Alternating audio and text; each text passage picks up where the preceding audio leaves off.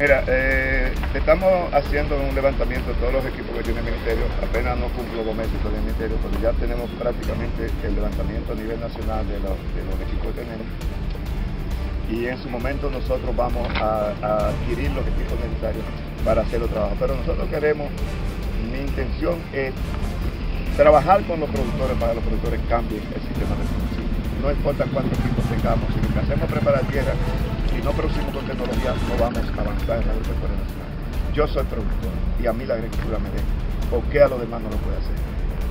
Aquí hay, eh, decíamos que cacao, eh, el promedio son 60 libras, pero que hay productores que están produciendo 3, 4 quintales por. ¿Por qué no lo podemos hacer? Un problema tenemos que cambiar nuestra forma de producir.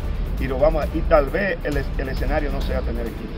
Quizá tal vez el escenario que el productor sea rentable y que pueda tener sus equipos, que pueda rentar sus equipos, pero vamos a ayudar a los que menos pueden para que preparen su tierra y para que tengan la, la semilla de calidad para producir con calidad. Este país tiene un potencial y hay que transformarlo.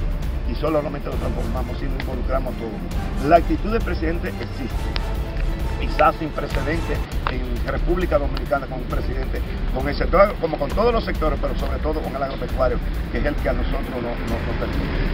Entonces, no es solamente con la actitud también necesitamos la colaboración del productor, de la ciudadanía y de ustedes, los medios de comunicación, para que orienten a los productores que hay que cambiar de la actitud, la forma de producir, no por la forma que producían nuestros padres, nuestros abuelos, sino por lo que se requiere hoy para poder competir. En, en, en Moca, que están produciendo 40 y 60 quintales por tarea.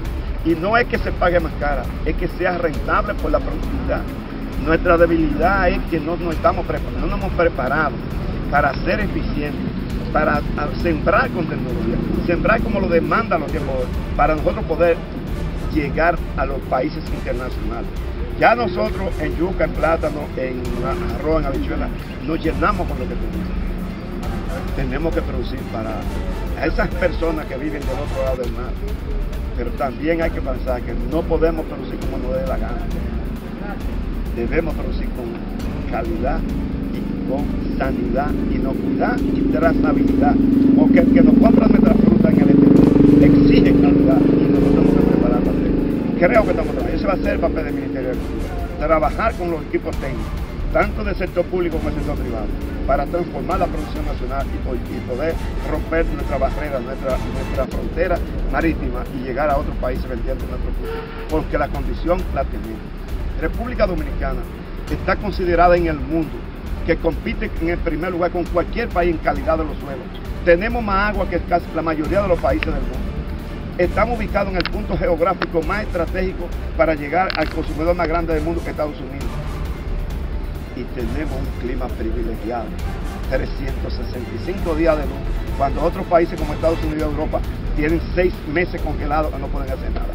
A nosotros no hace falta quitarnos ese, esa, eso que tenemos dentro, de que, que queremos ser paternalistas y que todos nos lo ven. Tenemos que poner a parte. La lucha del agropecuario nacional, como de todo el desarrollo del país, no corresponde solamente al presidente de la República. El presidente de la República y sus funcionarios somos motores, somos motores que empujamos, pero el pueblo, el productor, tiene que integrarse a eso y decidir cambiar.